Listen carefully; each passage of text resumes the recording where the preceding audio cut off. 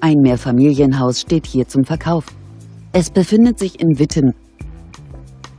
1900 wurde dieses Haus erbaut.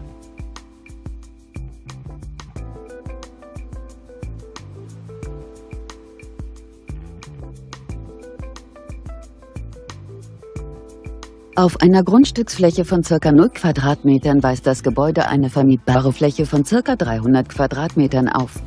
Das Objekt steht für 450.000 Euro zum Verkauf. Kontaktieren Sie uns für nähere Informationen.